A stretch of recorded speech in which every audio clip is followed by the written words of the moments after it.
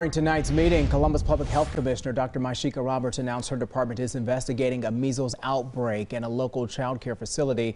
Dr. Roberts did not name the facility. She says there are currently four cases, all involving unvaccinated children who have not traveled.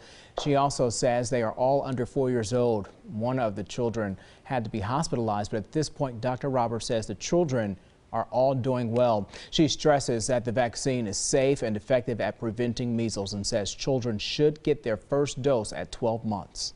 I would just remind everyone if you're not vaccinated against measles, whether you're a child or an adult, please get vaccinated. Vaccines are available at Columbus Public Health, but through appointment only. Dr. Roberts says the child care facility will be closed for 21 days. She says there have been eight measles cases in Columbus so far this year, with the previous four coming from unvaccinated children who traveled to measles hotspots.